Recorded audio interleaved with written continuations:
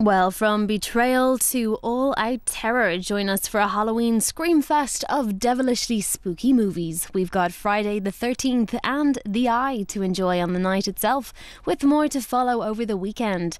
Back to today, brand new Mad Men at 10 past 11. Next, RTE News on 2.